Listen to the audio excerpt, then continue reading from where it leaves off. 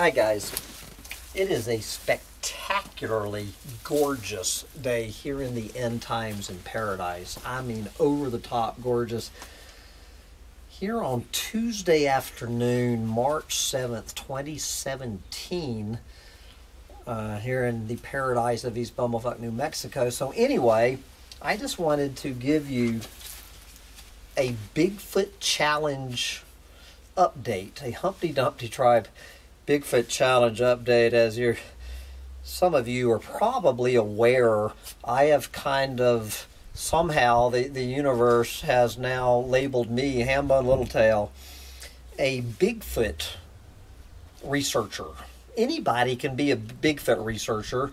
You just start researching Bigfoot, and this is how you get labeled a Bigfoot researcher. If you've ever watched any of these documentaries or whatever about Bigfoot researchers and you wonder how do you become a, B- a Bigfoot researcher? Well, you start researching Bigfoot and you're a Bigfoot researcher. And if you go on a hunt for Bigfoot, which I will be going on here in a few months, uh, then you are a Bigfoot hunter. So, anyway, uh, now that I am a Bigfoot researcher, uh, as part as part of taking on the Humpty Dumpty Tribe Bigfoot Challenge, I've I've gotten into this debate, and I've actually had rants before on this before I ever became a Bigfoot researcher myself. And that's one of the big controversies in the Bigfoot research community is whether or not to bring one bring a Bigfoot in, meaning kill it. Uh, do we need to sacrifice the life of one Bigfoot just to convince these naysayers that uh, that Bigfoot does not exist? And I want to state categorically that I am 100% adamantly opposed to killing a Bigfoot. I, I find the very idea of it morally repugnant, ethically reprehensible. Uh, anybody out there wanting to kill a Bigfoot, don't don't don't get me going. But what I hear is it's like there's it's an all or nothing. Either we leave him completely alone or we kill him. And I think there's a middle ground, which I don't, I mean, a few people have mentioned this. How about the idea of bringing a Bigfoot in alive? And there you go. I am 100% in favor and fully endorse bringing in a live Bigfoot, bringing him in, keeping him or her a, a, about a month should be all the time we need to to to run whatever particularly DNA test on this thing to find out once and for all and ever. Well, number one, of course, is to prove that Bigfoot exists. Beyond any doubt, it would put it to rest uh, it would obviously answer the big question does Bigfoot exist if we bring one in alive where people can see one walking around uh, eating, drinking, and shitting, we would know it's still, we would know it's alive, and we could do, you know, all sorts of DNA samples and blah, blah, blah. Uh, to figure out what the hell this thing is, a little bit uh, about, uh, you know, what it eats, we could certainly uh, test it for all of that. Uh, do whatever you know. We need to poke this little guy, prod him, take blood tests, DNA samples, uh, whatever, uh, for about a month. Take him back where we found him and let him go to rejoin his family. Uh, I have no problem with this. And this is the reason why I am in 100% in favor of this. And, and I don't hear anybody, anybody in the Bigfoot community talking about this. And this is just as I say, I've had this rant before, but now that I am a Bigfoot researcher, uh, I'm going to have it again. The reason this is so important, so important, is not so much about Bigfoot himself, although that's very important. It is the fact that if we can prove that Bigfoot, you know, essentially a species of human, uh, is is a breeding population of effectively a primitive human or even if it does turn out to be a quote ape, that that's that's about as good. If, if we can if we can demonstrate that there is a breeding population of these animals uh, uh out there in the forests of the Pacific Northwest, and I'm going to talk. about I'm going to come back to this Pacific Northwest in a minute. Imagine what that is going to do to preserving the the uh, wilderness areas out there. Uh, look what the spotted owl did in the what is it the marbled murrelet.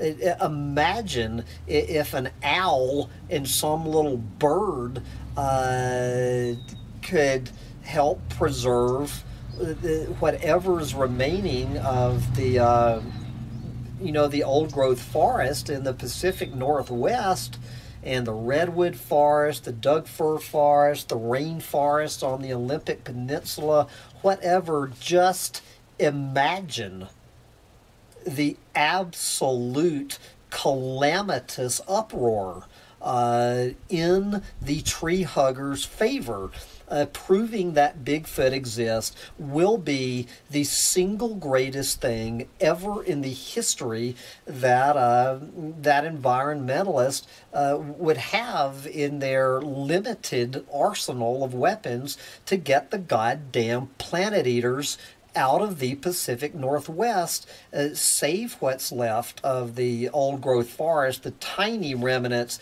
would be off limits to to those sons of bitches, even with Donald Trump.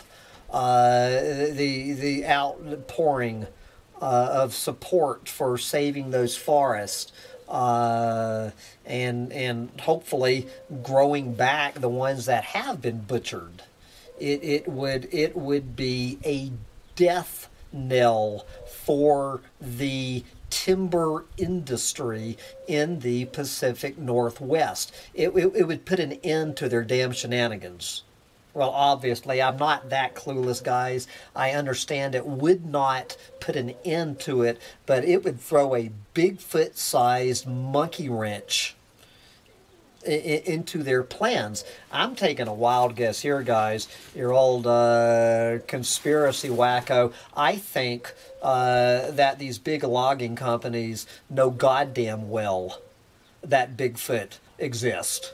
Uh, they, they know damn well uh, that Bigfoot is real, and uh, probably there's a whole lot of loggers uh, the, these damn uh, lumberjacks out there uh, that know it too, and they're keeping their damn mouths shut because they realize that that Bigfoot would be the single biggest threat to their jobs, to the entire timber economy and anything Bigfoot can do to shut down the uh, the, the goddamn logging industry uh, in the Pacific Northwest has my has my eco-Nazi vote. Uh, this is what it's all about. This is what nobody is talking about. And this is why we need to find, uh, to put this subject to rest. And the reason I am saying, uh, uh, I keep harping on the Pacific, by the Pacific Northwest, I mean starting, you know, Northern California, Oregon, Washington State, and British Columbia, I guess, would be the Pacific Southwest if you were in, in Canada I am, I, I I've never been 100% convinced that Bigfoot even does exist. I see, I do not see, no one has presented me with any scientific proof that Bigfoot cannot exist. Uh, to this day. Is it improbable? Yes. Is it impossible? No. I have never seen. It's not like we're looking for a goddamn Tyrannosaurus Rex. Uh, we're you know we're looking for Bigfoot, and uh, and I think uh, there is plenty of of historical, circumstantial, anecdotal evidence going back centuries from the Pacific Northwest that the that these animals have certainly been there for a long time, and we need to bring one in alive to for to that's the number one best way we have to ensure that they continue to survive is, is to so we can start getting to work on a Bigfoot population restoration project. And uh, again, about, about, about the Pacific Northwest, I, I'm just going to throw this out there. This is another rant, but I'm just going to make a point of it. Uh, anybody who believes that Bigfoot, Bigfoot exist. Uh, I've read some of these researches. They see no reason why Bigfoot isn't on in every state in this union, with the exception of Hawaii. So anyone who believes that Bigfoot is uh, is living in 49 states here, and that means you think Bigfoot is living in Rhode Island. You think Bigfoot is living in Connecticut you know, it's it's anybody going out there making these absolute unadulterated horseshit claims that Bigfoot lives in that could be living in Rhode Island. What you're doing, guys, is you're making an absolute mockery and a laughing stock out of any serious Bigfoot uh, researcher and Bigfoot hunter looking for this guy where we might actually have a chance to find him, and that is the Pacific Northwest. I see a little bit of evidence from the uh, from the Rocky Mountains as well.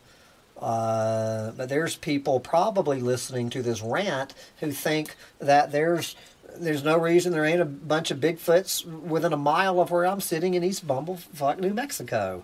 Uh, my bullshit detector button is out of reach.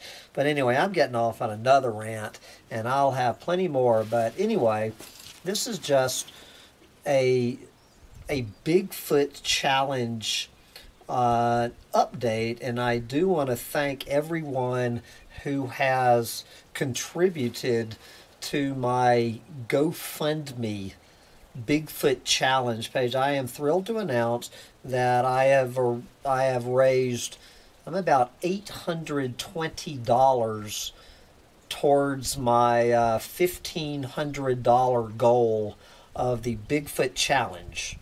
So if anybody wants to support uh, Hambone Littletail and the little dog Sancho Panza in his upcoming Bigfoot hunt, uh, I would greatly appreciate any uh, any donations to the cause.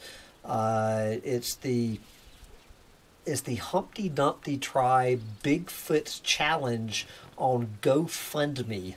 I will put the link to the campaign uh, here in the description of this video and I would be very appreciative of anybody who wants to throw any money into, if not finding Bigfoot, to uh, saving the forest of the Pacific Northwest, which is the number one goal of finding Bigfoot. And I will, as I get deeper into my Bigfoot research and plan for the Bigfoot Challenge, I will be bringing you more of these updates. But for this update, Bye, guys. Come on, my little Bigfoot hound. This is Bigfoot hound Sancho Panza Hopefully, he's not going to be a Bigfoot burrito. What are you doing with your tongue? Bye, guys.